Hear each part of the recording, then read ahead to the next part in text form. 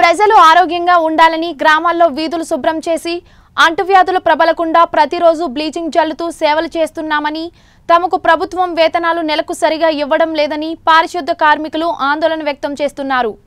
విజయనగరం జిల్లా మెంటాడ మండలంలో పలు గ్రామాలకు చెందిన గ్రీన్ అంబాసిడర్లు సిఐటియు జిల్లా ఉపాధ్యక్షురాలు వి లక్ష్మి ఆధ్వర్యంలో ధర్నా చేపట్టారు. అనంతరం ఎంపీడీఓ భానుమూర్తికి వినతిపత్రం అందజేశారు.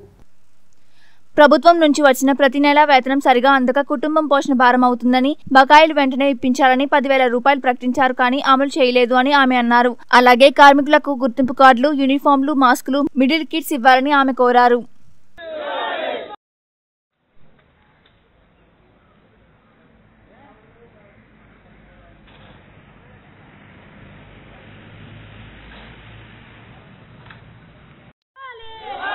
శ్రీరామపాదుల సమస్యల పరిష్కారం చేయాలి బకాయి జీతాలు వెంటనే చెల్లించాలి ప్రభుత్వం ప్రకటించిన పదివేల రూపాయల జీతం ఇవ్వాలి శ్రీరామపాదుల సమస్యల పరిష్కారం చేయాలి బకాయి పడి జీతాలు వెంటనే చెల్లించాలి ప్రభుత్వం ప్రకటించిన పదివేల రూపాయల జీతం వెంటనే ఇవ్వాలి ఈ లక్ష్మి సిఐటియు జిల్లా ఉపాధ్యక్షురాలని.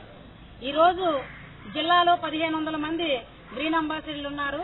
ఇప్పటికీ సుమారుగా ఏడు నెలల నుంచి రెండు రెండు సంవత్సరాల వరకు జీతాలు రాని గ్రీన్ అంబాసిడర్లు ఉన్నారు.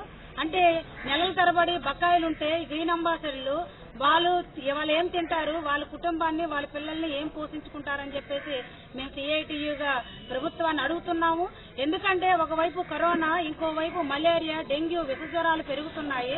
ఇంకోవైపు ప్రజలందరూ ఆరోగ్యాన్ని కాపాడాల్సిన బాధ్యత వీళ్ళపైనే ఉంది. వీళ్ళందరూ అనేక కష్టాలకు వచ్చి ఈ రోజు ప్రజల ఆరోగ్యాన్ని కాపాడుతుంటే వీళ్ళకు మాత్రం నెల నెలా రావాల్సిన ఆరు వేల రూపాయలు సంవత్సరాల తరబడి బకాయి ఉంటే వీళ్ళు ఏం తిని బతుకుతారని చెప్పేసి మేము సిఐటియుగా డిమాండ్ చేస్తున్నాం.